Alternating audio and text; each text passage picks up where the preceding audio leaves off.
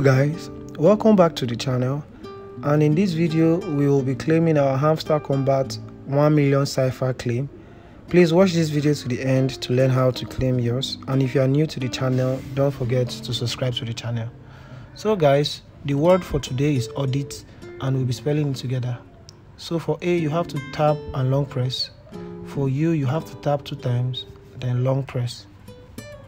For d you have to long press then tap two times. For I, you have to tap two times. Then for T, you have to long press.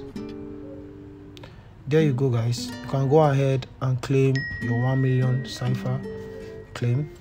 Guys, like we always say, don't forget to boost your profit per hour.